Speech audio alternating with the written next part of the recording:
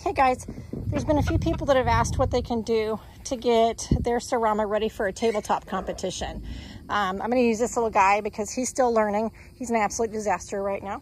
Um, so I am going to, what I want to do is I want to teach this guy, good boy, to stay on the table.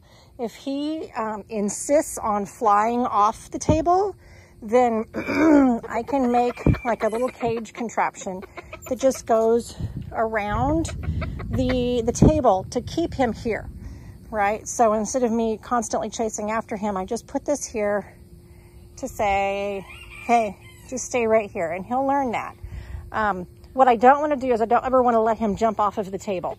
So for starters, if he ever acts like he's going to jump off of the table, then I will either stop him or I will pick him up because I just don't want him to do that.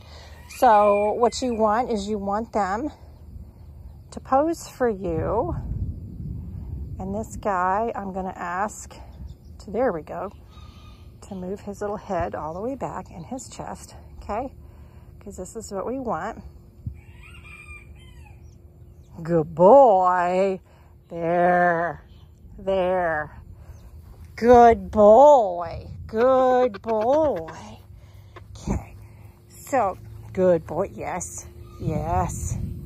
So he's going to act like a giraffe right now because there's stuff going on. We've got a thunderstorm fixing to move in.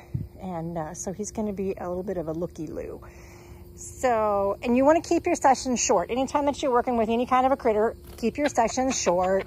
So if he's, if he's, if I'm picking up that he has hit the threshold of his patience and it's just going to turn into a fight with him, then I will just pick him up and I will end the session. So, and we just had a really close, yep, lightning bolt. So I'm going to end the session now.